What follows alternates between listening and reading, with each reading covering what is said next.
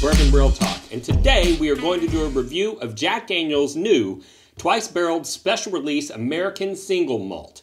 Let's jump right into it. The producer, obviously, Jack Daniels, and this is part of their special release series, which has included the Heritage Barrel, the Jack Daniels Barrel Proof Rye, and Coy Hill releases.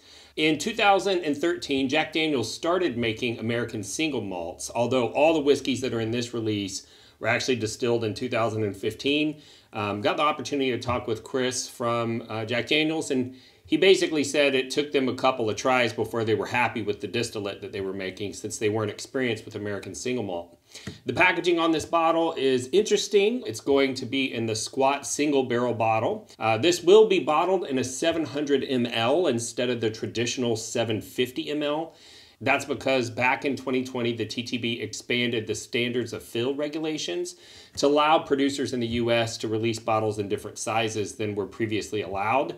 Uh, so this is more along the lines of what you'd see in Europe. The liquid is 100% malted barley, uh, which is the first time Jack Daniels has done a 100% malted barley whiskey. Everything in this release was aged for four plus years in new charred oak American barrels. Uh, then it was moved over to the Oloroso sherry butts, where it aged for almost three years. Sherry butts are roughly two and a half times the size of a standard 53 gallon barrel. These were first time fill after the Oloroso sherry was removed. Uh, some interesting side notes about these barrels because they're so large, they don't fit in a rick. Uh, which is how Jack Daniels traditionally ages their barrels. Uh, so these had to be palletized. So instead of having their bung on their side, the bung is on the end and they're stood up on pallets. Um, and the only place for them was on the ground. So they'd fit them wherever they could in the rick house, uh, which is quite tall, and it's got all of those barrels up above. Um, and that's going to lead us to our next point. These barrels are going to come out between 106.1 and 107.8 proof. Uh, there's two reasons for that. One, because they proofed the whiskey down before it went into the sherry butt. Uh, I believe they took it down to 107 proof. And most of these barrels lost a little bit of proof during aging, um, and that's partially because they were on the floor. Uh, there's a lot more temperature change at the top. That heat causes those barrels to evaporate water, increasing the humidity, and the lower level floors will sometimes drink that water up out of the air and proof down the whiskey inside the barrel. And that is what has happened here. Almost all high-end single malts worldwide are made in a pot still, but Jack Daniels uses a column still or a continuous still. And they also use the Lincoln County process on that. Uh, just to give you a little bit of an understanding, that would be kind of like taking distilled water and then running it through a Brita filter. Uh, malted barley is already pretty light on flavor compounds compared to, you know, corn or rye or even wheat. Uh, so then when you put it through two stripping runs, uh, the, the column still and then the Lincoln County process, that's not going to leave a whole lot of flavor in the distillate, uh, which I find interesting because they are going to release single malts by themselves that are unfinished. And I expect that those were going to be very heavily flavored with barrel flavors and not a lot of grain flavors. But when the tasting team was tasting this product, they felt like it was lacking some sweetness that they're used to from the corn and the rye that's in their normal whiskey. So they decided they wanted some bolder flavors added, and that's when they decided to finish this in Oloroso sherry. So what does it taste like? Uh, on the nose, it's a very complex nose, and the first thing that I notice is a chocolate note, but it's not like a, a bitter dark chocolate.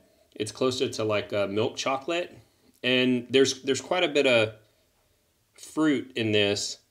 It's like a darker fruit, something that I don't always get on, you know, bourbon or even Jack Daniel's Tennessee whiskey, and maybe even some red fruit.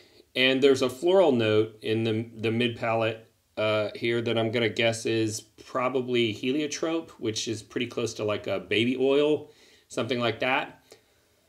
And there's some nuttiness in this. Um, and there's a hint of what I'll call petrol, uh, which sound it, it, it, smells a little a little bit like gasoline, a little bit like um, black tire smoke, something like that. And um, let's see how it tastes. The milk chocolate's definitely coming through. That fruit flavor is kind of coming through as like a red raspberry for me, and a darker fruit like probably fig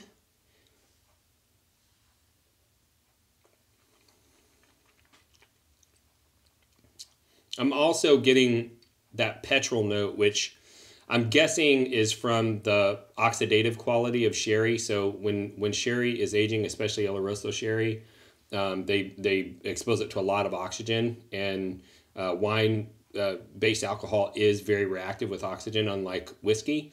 And that flavor sometimes come comes across for me as that that petrol note. I am getting a hint of peanut, and that floral note is definitely coming through on the finish. Um, I, am not tasting it as much on the attack or the mid palate, but on the finish, the floral note seems to shine a little bit. Um, I will say that there's little to no indication that this product has Jack Daniels DNA. I'm not getting any banana notes. Um, maybe the peanut could be from the Jack Daniels yeast strain, uh, but because sherry's can be a little bit nutty, it might be coming from the sherry barrel, barrel as well. Uh, really hard to say. Uh, the only whiskey that I can think of that tastes like this, if you're trying to get a comparison, would be this guy right here, which is Kavalan uh, Vinho Barrique. And what makes me uh, think that these two are similar to one another is the heavy influence of the wine barrel on this single malt product because this is a very heavy influence of Oloroso Sherry on this product.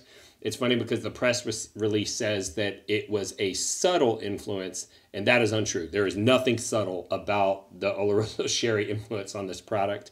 Uh, but what I recommend it 10 of 10, unless you hate single malts, you are going to love this product. I, I kind of feel like this might be the final nail in the coffin of J- Jack Daniels deniers.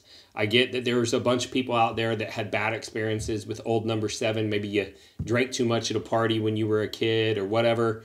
Um, I get that Jack Daniels Old Number Seven is not the complex product that a lot of whiskey enthusiasts are used to. But now that they've released the Jack Daniels single barrel uh, barrel proofs, the Jack Daniel barrel proof rye, Coy Hill, and now this, I, I, I kind of feel like this proves that Jack Daniels' capabilities go far beyond what the market imagined. And, you know, if you're running around saying that all Jack Daniels is bad, I, I kind of feel like at this point you're making a fool of yourself because their premium products are, you know, bar none. I, I feel like they've earned their space in the pantheon of respected American whiskey producers uh, with some of these special releases. So I uh, can't say enough about their special releases. Been really excited about everything I've tried lately. So I just want to thank everybody for tuning in. I hope that this information was helpful to you. Uh, please subscribe, ring the bell so you get notifications. And remember, if you woke up this morning and you're unsure whether or not anyone loved you, just know that I love you. And I'll see you next time on Bourbon Real Talk.